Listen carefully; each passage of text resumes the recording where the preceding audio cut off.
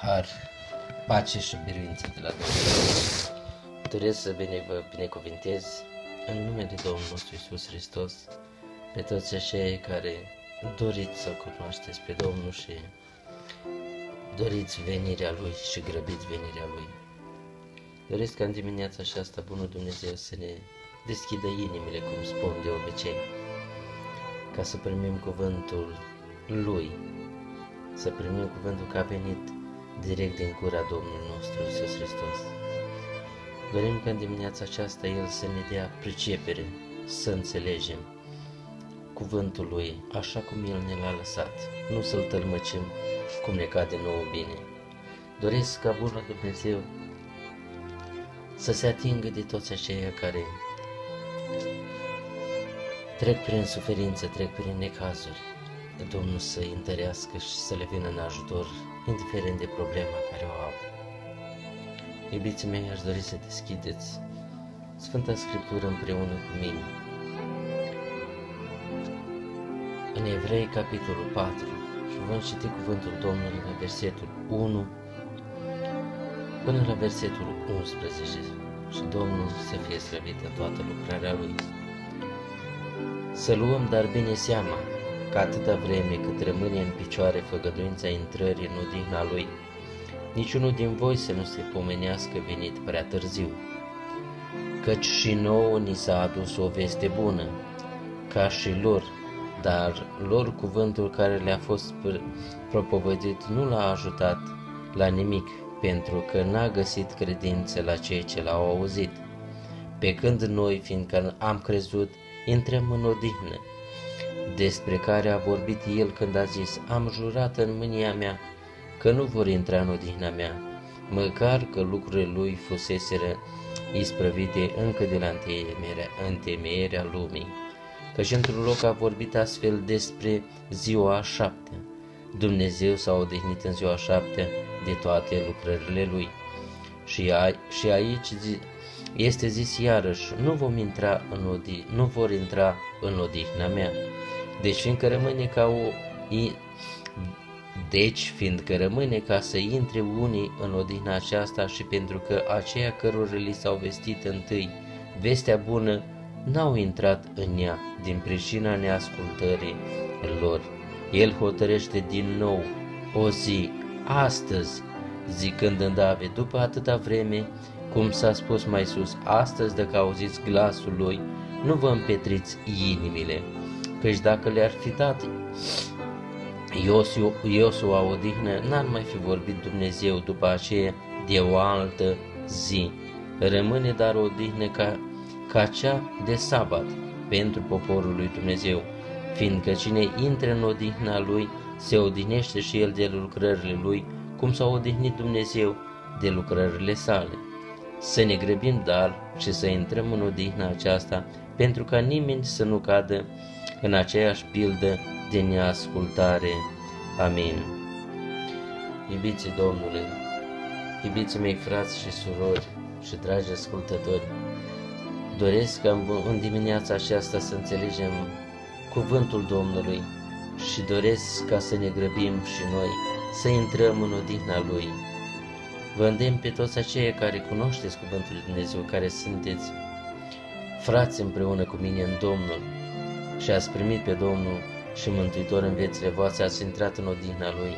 Doresc ca să înțelegem cuvântul acesta și doresc în special pentru aceia care nu cunosc cuvântul Lui Dumnezeu și încă n-a intrat în odihna Domnului. Doresc ca Bunul Dumnezeu să le cerceteze inimile, să le deschidă inimile, să spargă inimile de piatră și să înțeleagă cuvântul Domnului și să-L primească pe Domnul în viețile lor ca Domn și Mântuitor, să poată intra în odihna Domnului. Să nu ne trezim, veniți prea târziu, iubiții mei, căutați pe Domnul câte vreme se poate găsi. Amin. Aș vrea să încep din nou citirea Cuvântului Dumnezeu cu versetul 1.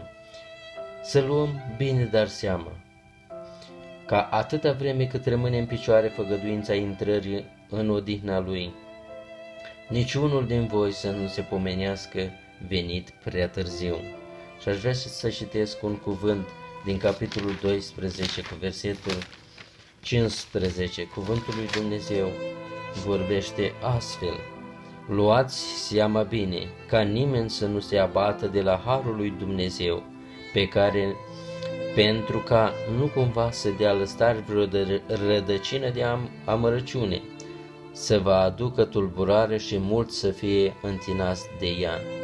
Iubiții mei, aș vrea ca în dimineața aceasta să luăm bine seama, să nu ne abatem de la Harul lui Dumnezeu. Iubiții mei, deci noi, cum spune cuvântul, noi suntem mântuiți prin Har, pentru că și Hristos este sfârșitul legii. Sfârșitul legii, ca să înțelegem bine, este sfârșitul legii ceremoniale. S-a terminat, iubiții mei, cu jertfele dinaintea lui Dumnezeu, ce Hristos a venit, El, prin trupul Lui, ca jertfă pentru mântuirea noastră. De aceea, iubiții mei, să nu călcăm în picioare acest har minunat, să nu călcăm în picioare jertfa Domnului nostru Isus Hristos, care s-a adus odată pentru totdeauna.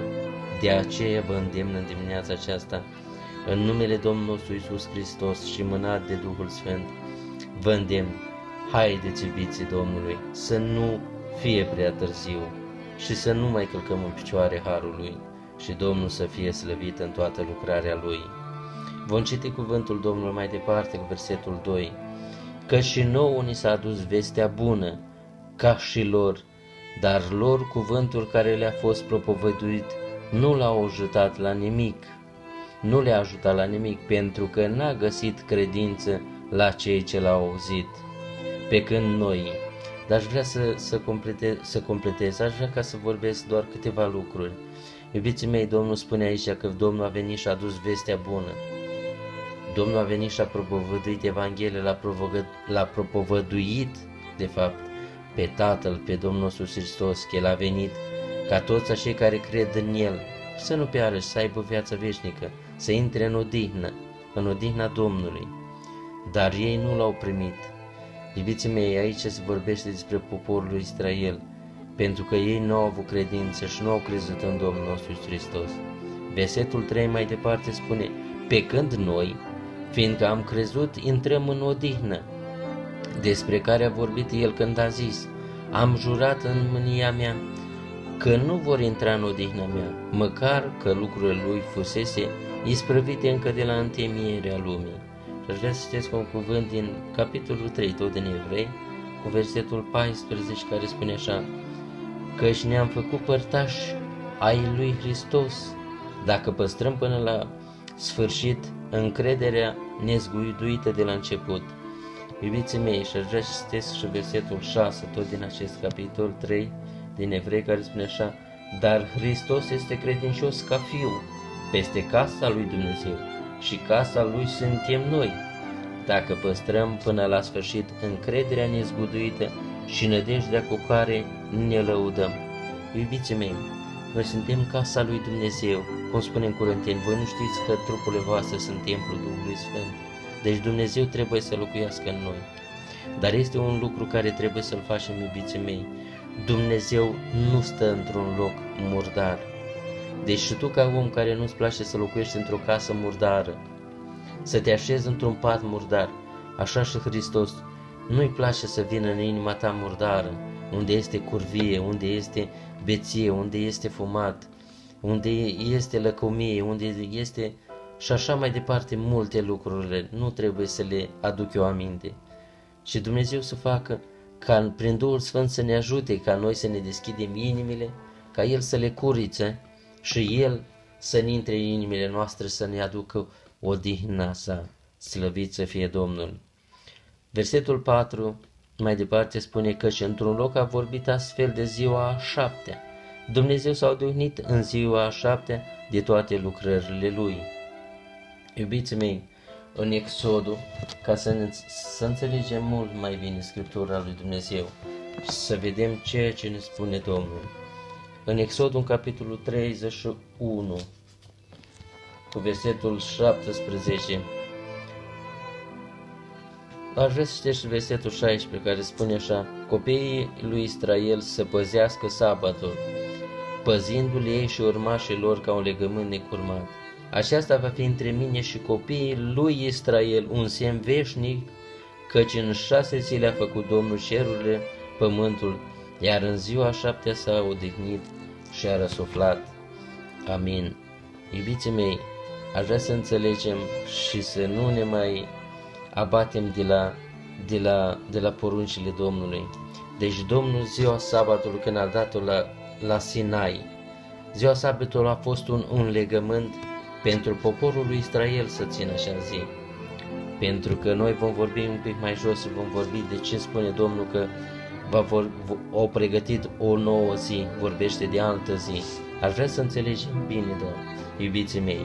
Nu este rău că ții ziua sabatului, ține-o, dar Dumnezeu nu ți-o ales o zi, ci toate zilele, pentru cum spune cuvântul lui Dumnezeu mai departe, că spune că unul socotește o zi mai presus ca alta și alt pentru, to- pentru altul toate zilele sunt la fel. Iubiții mei, aș vrea ca noi să nu mai fim atâta de, de fanatici și de multe ori să, să mergem așa decât pe o singură linie să vedem un singur lucru. Degeaba ții tu decât sabatul dacă toate zilele pentru tine nu sunt tot a Domnului. Cum spunea cineva că șase zile lucrăm pentru dracu și măcar o zi o dăm Domnul. Eu vreau să vă îndemn ca toate zilele să fie pentru Domnul, nu numai sabatul, sabatul care l-a lăsat pentru poporul Israel sau duminica care o ținem noi ca, ca înviere când Domnul a înviat și El ne-a adus odihna.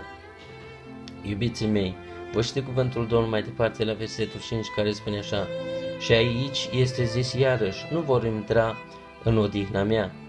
Deci fiindcă rămâne ca să intre unii în odihna aceasta și pentru că aceia cărora li s-a vestit întâi vestea bună n-au intrat în ea din pricina neascultării lor.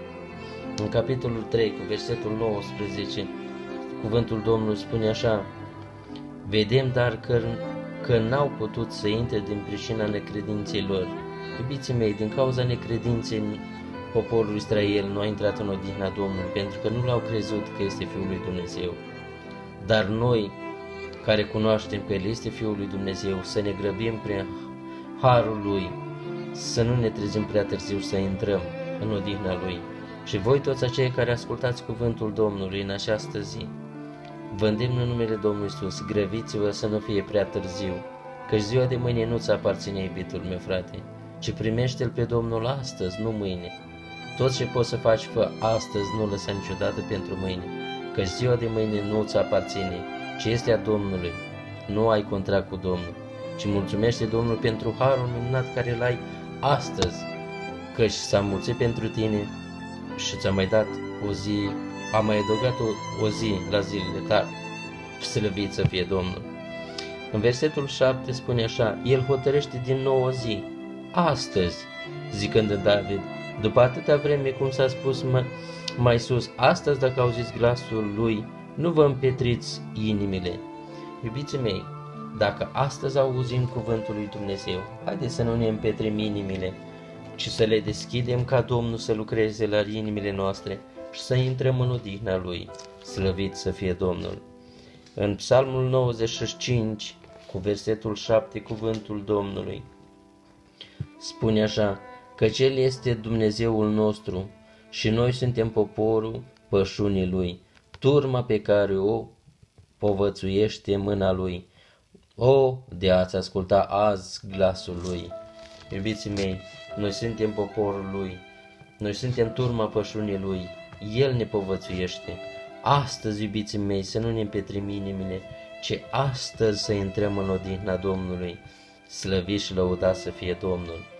În capitolul 3, tot din Evrei, cu versetul 7, cuvântul Domnului spune așa, De aceea, cum zice Duhul Sfânt, astăzi, dacă auziți glasul Lui. Iubiții mei, astăzi Domnul vorbește prin Duhul Său cel Sfânt. Deci astăzi să intrăm în odihna Lui și astăzi să ne deschidem inimile. Astăzi rog pe Domnul prin Duhul Sfânt ca El să sfarme inimile de piatră a tuturor celor care sunt împetriți și să le dea o inimă de carne care să bată pentru el și să înțeleagă cuvântul lui. Amin. Versetul 8 mai departe, cuvântul Domnului spune astfel, căci dacă le-ar fi dat eu să o odihnă, n-ar mai vorbi Dumnezeu după aceea de o altă zi. Iubiții mei, odihna nu ți-o dă nimeni, decât Domnul nostru Isus Hristos, slăvit și lăudat să fie numele Lui de Dumnezeu. În Faptele Apostolilor, în capitolul 20, cu versetul 7, cuvântul Domnului spune astfel. Faptele Apostolilor, capitolul 20, cu versetul 7, spune așa. În ziua întâia săptămânii eram, eram adunați la oaltă ca să frângem pâinea. Pavel, care trebuia să plece a doua zi, vorbea ucenicilor și a lungit vorbirea până la mezul nopții. Iubiții mei, deci dacă Domnul a hotărit o nouă zi, vă îndemn, cum vedeți, cum, cum alții spun, de, în general vorbesc despre lucrul acesta, despre ziua de duminică, că este o nouă, că este o altă zi. Biserica Adventistă vorbește despre lucrul acesta că și Papa și Biserica Catolică și Biserica Ortodoxă au schimbat de la împărat Constantin ziua sâmbetei în duminică și eu vreau să vă spun un lucru. Nu a schimbat-o Papa și nici Constantin cel Mare, ci Domnul l-a schimbat-o prin învierea lui și despre această nouă zi se vorbește. Și în faptele apostolilor se vorbește clar că și ucenicii erau în fiecare, în prima zi a săptămânii erau adunați împreună la frângerea pâinii. Iubiții mei, am aș vrea ca să înțelegem să nu mai fim naivi și cum am spus și mai devreme. Degeaba ții tu sabatul dacă toate celelalte zile nu sunt a Domnului. Iubiții mei, eu aș vrea ca pentru noi toate zilele să fie la fel, adică toate zilele să le avem date Domnului și Dumnezeu să fie slăvit în toată lucrarea Lui. Așa vom putea intra în, în odihna Lui Dumnezeu, iubiții mei. Degeaba ții tu decât o zi, sabatul, dacă celelalte zile nu le ții pentru Domnul. Vreau să vorbesc cuvântul Domnului mai departe din versetul 9 care spune așa Rămâne dar o odihnă ca cea de sabat. Ascultați bine ce spune. Că mulți spune, Doamne, noi am venit, ne odihnim în ziua sâmbătii. Degeaba te, te odinești în ziua sâmbetei dacă toate zilele nu sunt pentru Domnul, pentru că odihnă nu ai. Pentru poporul lui Dumnezeu, fiindcă cine intre în odihna lui se odihnește și el de lucrările lui cum s-a odihnit Dumnezeu de lucrările sale. Aș vrea să citesc un cuvânt din Evanghelia lui Matei, din capitolul 11, capitolul 11 cu versetul 28, cuvântul Dumnezeu spune așa, Veniți la mine toți cei trudiți și împovărați și eu vă voi da odihnă. Iată, iubiții mei, cine îți dă odihna. Nu ți-o dă sabatul și nu ți-o dă nimeni, nici duminica. Odihna ți-o dă Hristos. Vino în dimineața aceasta, în această zi binecuvântată de Domnul. Vine înaintea Lui, a dus toate poverile Lui înaintea Lui și El îți va da odihnă sufletului tău. Iubiții mei, vă îndemn în numele Domnului nostru Iisus Hristos să nu fie prea târziu, iubiții mei. Haideți să ne apropiem de Domnul și Domnul să fie slăvit. Versetul 11 mai departe spune așa, Să ne grăbim dar să intrăm în odihna aceasta, pentru ca nimeni să nu cadă în aceeași pildă de neascultare. Capitolul 3 cu versetul 12, cuvântul Domnului spune așa, Luați seama, dar frați, ca niciunul din voi să n-aibă o inimă rea și necredincioasă, care să vă despartă de Dumnezeul cel viu. Și versetul 13 spune, ci îndemnați-vă unii pe alții în fiecare zi, câte vreme se zice astăzi, pentru ca niciunul din voi să nu se împetrească prin înlăciunea, înșelăciunea păcatului. Iată, iubiții mei, deci fie, cuvântul Domnului spune că în fiecare zi să ne îndemnăm, cum am spus și am vorbit mai devreme. Degeaba tu ții o zi, dacă nu ții toate zilele pentru Domnul. Iubiții mei, haideți să-i dăm Domnului toate zilele, să fie pentru noi toate zilele la fel, adică să trăim ca pentru Domnul, iubiții mei, ca să putem intra în odihna Lui, să nu ne împetrim inimile, să nu ne abatem de la cuvântul Lui, să nu avem o inimă rea și necredincioasă și să avem încredere în bunul nostru Dumnezeu, căci cuvântul Domnului spune, avem această făgăduință minunată că El când a plecat ucenicilor, când ne-a îmbărbătat și a zis, eu mă duc să vă pregătesc un loc, ca acolo unde sunt eu, să fiți și voi, iubiții mei. Această nădejde trebuie să o avem, căci Domnul s-a dus ne-a pregătit un loc, dar dacă tu nu vrei să intri în odihna Lui, tu nu-L primești pe Domnul în viața ta, n-ai cum să primești acel loc, iubitul meu. Iubitul meu, Domnul Hristos a zis că vă pregătesc un loc. Spune că dacă n-ar fi fost așa, nu v-aș fi spus. Spune că în casa tatălui meu sunt multe locașuri. Deci acolo unde sunt eu vreau să fiți și voi. Iubiții mei, dacă tu nu, tu nu ești și eu nu sunt urmașul lui Hristos, nu avem cum să intrăm în odihna aceasta. Nu avem cum să avem părtășia aceasta cu Domnul, iubiții mei. Iubiții mei, astăzi, spune cuvântul lui Dumnezeu, hotărăște o nouă zi. Pentru mine și pentru tine. Astăzi să primesc odihna lui Hristos. Astăzi să mă apropii de Domnul. Astăzi să să-i spun nu păcatului și da lui Dumnezeu. Astăzi să-i spun, de astăzi nu mai beau, de astăzi nu mai fumez, de astăzi nu mai curvez, de astăzi nu mai fac glume proaste, nu mai înjur, nu mai mint, nu mai fac lucruri care nu sunt plăcute lui Dumnezeu și astăzi vreau să-i spun da lui Dumnezeu ca să pot să intre în, în odihna lui, slăvit să fie Domnul. Aș vrea să citesc un alt cuvânt din, nu, tot din, din, din Evrei, din capitolul 3, versetul 18 și 19, care spune așa, Și cui s-a jurat el că n-a să intre în odihna lui? Nu s-a jurat oare celor ce nu ascultă? Iubiții mei, dacă tu nu ești un ascultător de cuvântul lui Dumnezeu, n-ai cum să intri în, în odihna lui Dumnezeu. Și aș vrea să citesc un, un cuvânt din numeri, din numeri 14, capitolul 14 cu versetul 30. Numeri 14, versetul 30, cuvântul lui Dumnezeu spune așa, Nu veți intra în țara pe care jurasem că vă voi da, vă voi da o să locuiți afară de Caleb, fiul lui Eufunie și Iosua, fiul lui Nun. Iubiții mei, iată cum v-am vorbit, Doamne. Deci se vorbește despre o nouă zi, Poporul lui Israel care a fost s-a împetrit inima și nu a vrut să ne intre în odihna lui Dumnezeu și nu a ascultat. Dumnezeu le-a promis o țară și nu au, nu au intrat în ea decât doi oameni. Aici vorbește despre doi oameni, dar eu cred că acești doi oameni sunt cu familiile lor, cu, cu, cu slujile lor și cu toți oamenii, toți robii care îi avea. Și Domnul să fie slăvit în toată lucrarea Lui. Iubiții mei, și versetul 9 se spune, vedem dar că n-au putut să intre din pricina necredinței lor. Deci din cauza ne s-au împetrit. În loc să ajungă în 40 de zile în Cananul, o trebuit Domnul ca să le dea 40 de ani ca să-i învârte tot într-un jurul unui munte și să se plimbe din cauza necredinței și din cauza cârtirilor. Eu vă îndemn astăzi ca să înțelegem cuvântul lui Dumnezeu, să nu ne împetrim inimile, să le deschidem ca să putem intra în odihna Lui.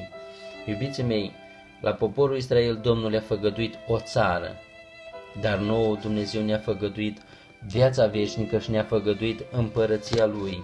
De ce spun lucrul acesta? Bazat pe cuvântul lui Dumnezeu care spune Eu mă duc să vă pregătesc un loc ca acolo unde sunt eu și să fiți și voi. Dacă nu aș fost așa, nu v-aș fi spus. Iubiții mei, deci Domnul nou ne-a pregătit un loc în cer, nu un loc pe pământul acesta, pământul acesta va arde cu tot ce este pe el. Astăzi vă îndemn în numele Domnului Iisus, primiți-L în viața, în viețile voastre, să-L primești și eu în viața mea, cu mai multă tărie, cu mai multă ardoare și ca să ajungem să fim acolo unde este și El și Dumnezeu să ne sfârțească la toate lucrurile acestea. Iubeții mei, nu ne rămâne decât să ne deschidem inima și să spunem nu păcatului și da lui Dumnezeu și așa vom putea intra în, în împărăția Lui. N-avem decât, decât face un lucru, de astăzi înainte să ne sfințim înaintea Domnului și să trăim ca pentru Domnul și să intrăm în odihna Lui. Amin. Vă binecuvintez în numele Domnului nostru Iisus Hristos și doresc ca această învățătură să ne pătrundă inimile și să facă să aducă rod în inimile noastre și rodul nostru să rămână, să se vadă. Amin.